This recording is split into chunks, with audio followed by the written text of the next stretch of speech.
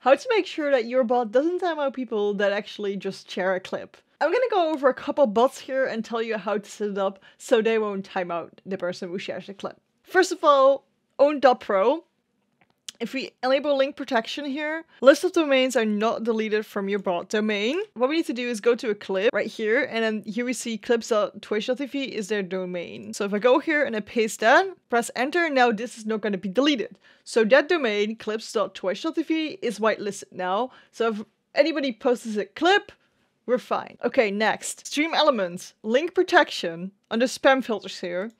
If we open that, we'll go to whitelist. I have a lot of things in here already, which one of them is the clip one, but just paste the clip one here and press enter and now it will be in your whitelist. And people will be able to post clips in your chat if you use StreamElements. Okay, next one is Nightbot. Spam protection, the links here, enable.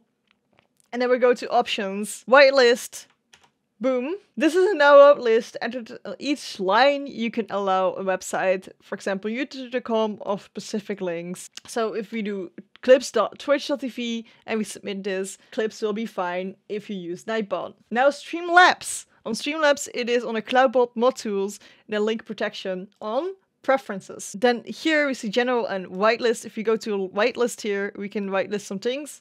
Add link, paste it in here and save it. It also works on Streamlabs now. So now if anybody posts a clip of you or anybody else on Twitch, it will just appear as a link in your chat and will not be removed. If there's another thing that you want to allow, like your social links, like your Twitter or something like that, you can do exactly the same thing, but make sure to do the slash your username, otherwise they can just link to their own Twitter or something like that. Some people think it's fine to link to Twitter, so then you could just do twitter.com and then you, people can just link any tweet. If you want to permit a user for just sharing something right now that isn't on your right whitelist, what you can do is type exclamation mark permit space the name of the person that wants to post. And then they have a short amount of time to, to actually post their link that they wanted to share. Do you want to know everything about clips? I do have a video about Twitch clips right here, so I'll see you there.